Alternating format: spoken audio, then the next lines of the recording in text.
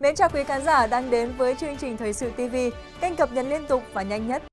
Xung đột Nga-Ukraine Vũ khí hạt nhân SWIFT không quá nguy hiểm với Nga, nó đang được thổi phồng. SWIFT được coi như một vũ khí hạt nhân tài chính được Mỹ và phương Tây sử dụng nhằm giáng một đòn kinh tế gây tê liệt, trừng phạt chiến dịch quân sự đặc biệt của Nga ở Ukraine. Nga hiện là quốc gia lớn thứ hai sau Mỹ về số lượng người dùng SWIFT, với khoảng 300 tổ chức tài chính của nước này sử dụng hệ thống, theo nguồn tin. Việc chặn Nga khỏi script sẽ khiến các ngân hàng nước này khó thực hiện các thông tin chuyển tiền đến và đi từ quốc gia này.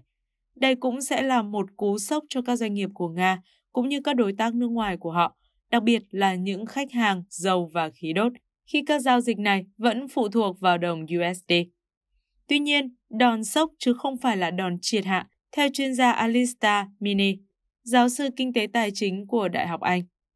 Đúng vậy, SWIFT là một phần quan trọng của hoạt động kinh tế quốc tế. Hệ thống này cung cấp dịch vụ thông tin liên lạc và giám sát các khoản thanh toán liên ngân hàng. Phát triển qua hơn 5 thập kỷ, SWIFT có khoảng 11.000 ngân hàng thành viên đến từ 200 quốc gia và vùng lãnh thổ, đặc biệt tích hợp thông suốt và hệ thống xử lý của các ngân hàng trên thế giới. Dù Script cũng thường là mục tiêu hàng đầu trong các cuộc tấn công mạng, nhưng rất may đây là một trong những hệ thống thông tin được bảo vệ vào loại tốt nhất thế giới, cực kỳ an toàn. Trên thực tế, theo phân tích của giáo sư Alistair Mini trên nguồn tin, việc hạn chế quyền truy cập vào Script không quá nguy hiểm đối với kinh tế của Nga. Nó ít hiệu quả hơn hầu hết các cảnh báo do các phương tiện truyền thông nêu ra. Và thực tế, nó chỉ mang tính biểu tượng rằng thế giới phản đối việc Nga tiến hành chiến dịch quân sự trên đất Ukraine và không có tác dụng nhiều hơn thế. Tất nhiên, việc chặn ngân hàng trung ương Nga khỏi các giao dịch quốc tế có thể làm suy giảm niềm tin vào đồng rúp, khiến Nga có nguy cơ đối mặt với cuộc khủng hoảng tài chính nếu giá trị rúp mất giá kỷ lục so với USD.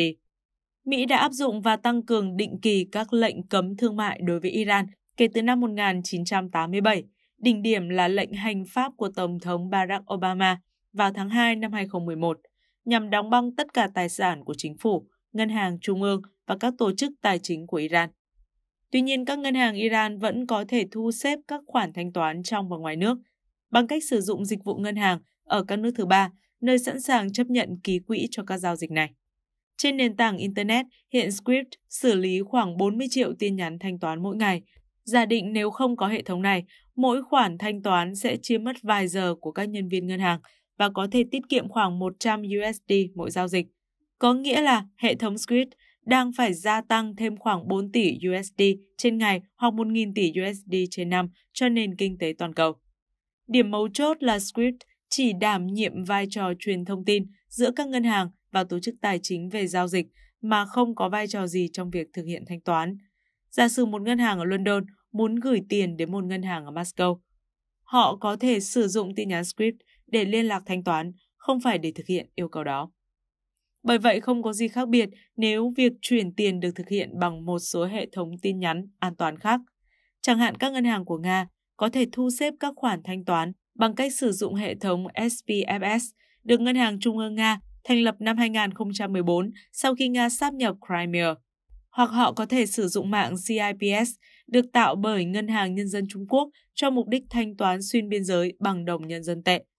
Họ thậm chí có thể sử dụng cả web app để hướng dẫn các giao dịch cần thiết. Các khoản thanh toán cho các sản phẩm năng lượng xuất khẩu của Nga, chẳng hạn như cho Gazprom, thậm chí còn ít phụ thuộc vào SWIFT hơn. Khi các ngân hàng mua dầu khí hoặc khí đốt từ Gazprom, họ sẽ thanh toán bằng đồng euro hoặc USD vào tài khoản ngân hàng do công ty năng lượng của Nga nắm giữ. Vì vậy, nếu mục đích của biện pháp trừng phạt là để chặn các khoản thanh toán cho khí đốt của Nga, thì công cụ đó không phải là SWIFT, mà đó phải là các biện pháp trừng phạt đối với Gazprom và các ngân hàng có liên quan. Các hoạt động quân sự của Nga không phụ thuộc vào tài trợ hay nguồn cung cấp từ bên ngoài. Nga cũng đã quyết tâm tái cấu trúc nền kinh tế với cải thiện đáng kể về mức sống, chuyển mình từ một nhà nhập khẩu lương thực lớn thành một nhà xuất khẩu thực phẩm dòng và định hướng lại phần lớn hoạt động thương mại của mình, chẳng hạn như sang Ấn Độ và Ai Cập.